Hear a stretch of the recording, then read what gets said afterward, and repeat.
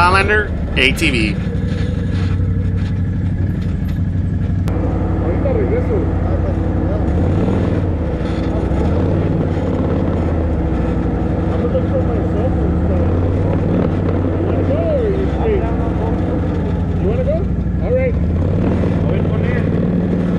If you haven't done so yet, subscribe to be up to date on the latest off-roading content from the channel. How much gas do you got? I still have more than half. I got three quarters. yeah. We've been riding in the Cougar Buttes area, a popular off-roading destination within Johnson Valley OHV. If you watched the first two videos, Jesus, a viewer and supporter of the channel, invited me to go riding with him and his family, and so far, it's been a fun ride with a large group of ATVs. remember where we stopped where like those people were camping? We took this route como nos vinimos. Yeah, we went straight. We went straight. Yeah. But you know what? Uh, there was like people camping. Yeah, yeah, I remember. Right there is you never know, like I braked hard because I thought I was gonna hit him. I Yeah. think that's where it fell. Think so? Yeah. I don't know I'm how to pretty, get I'm there. pretty to be sure honest. actually. I, I feel pretty confident that's where it fell. Okay. Yeah, that's all we'll- we'll Let's go. Yeah. For this last video, I'll actually just be cruising around with Ulises, another follower and supporter of the channel. At some point, I lost my cell phone tripod along the ride. And although not expensive, I have a good idea where it might have fallen off my gear, where I hit a hard bump on the trail.